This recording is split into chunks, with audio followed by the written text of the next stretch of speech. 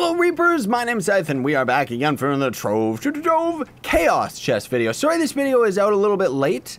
Uh, I do actually have a post on my community tab on my YouTube channel that is explaining what ended up happening, but pretty much I ended up just taking a day off. I'm trying not to burn myself out on all the Trove stuff because Trove Heroes is right around the corner, right? So anyways, brum, brum, brum, brum, you're gonna be able to get this bad boy right here. Absolutely beautiful. This is the SS Cube apparently. That's that's all it is for its name. Uh, but it's pretty cool. I actually like it. Oddly enough, you're going to notice as I come off of it, this is the one and only boat that doesn't have a cannon.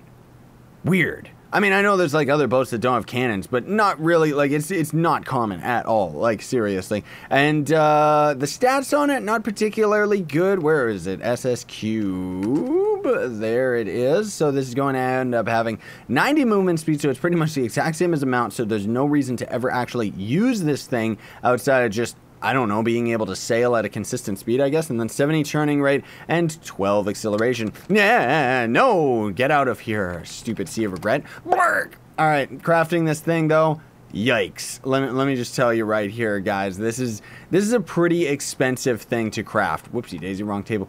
Uh, it is a premium, which is nice because it does actually double as coming with, where, where was that? This sail right here. So you are going to end up getting 110 mastery for this, which is pretty good, honestly speaking. Like most of the boats are actually really, really good for mastery. But even for me, this was a lot of blocks.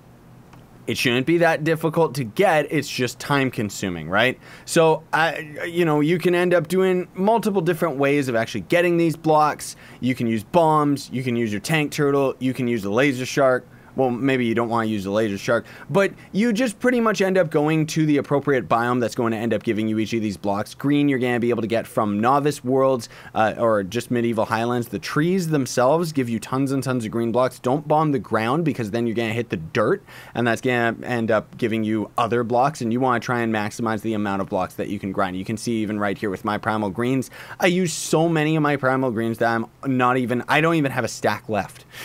like seriously, it's ridiculous Uh, and then blue blocks, you just go and find in the glacial biome. Uh, all you got to do for that one is it's actually the surface of the ground is going to end up being gray blocks, but then underground is going to end up being kind of slippery ice blocks. That's what you're looking for. That's going to end up giving you primal blue. And then for primal red, uh, oddly enough, you actually use the desert uh, and you end up going to find those gigantic, like, uh, canyon styled rocks that you're going to be able to find out in the world. I'll insert some footage of it, but you just bomb those things, and every single one of those blocks is going to be primal red. So it's not difficult, it just is very, very time consuming. But then on top of that, 150,000 flux and 20 chaos cores. So it's definitely one of the most expensive, like, actual items just because of the fact that it actually wants this many primal blocks. But that said, at least it's something that's kind of approachable for most people. I mean, granted, if you're like a new player and you can't actually afford bombs or don't have the tank turtle, it's going to take like